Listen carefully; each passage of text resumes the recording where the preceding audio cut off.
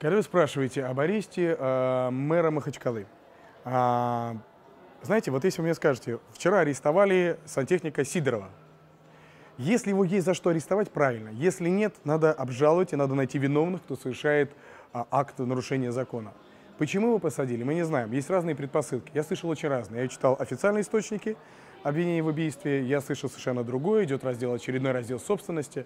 Скорее всего, там все коррумпировано, может быть. Но опять-таки, пока мне не доказательства у вас, мы не можем ни о чем судить. Пусть будут доказательства, мы примем решение. По поводу э, руки Москвы, минуточку, это вообще-то наша республика. Это территория Российской Федерации. Чего же более еще? Там, по идее, должен действовать один и тот же закон. Один закон на всю страну. Или нет?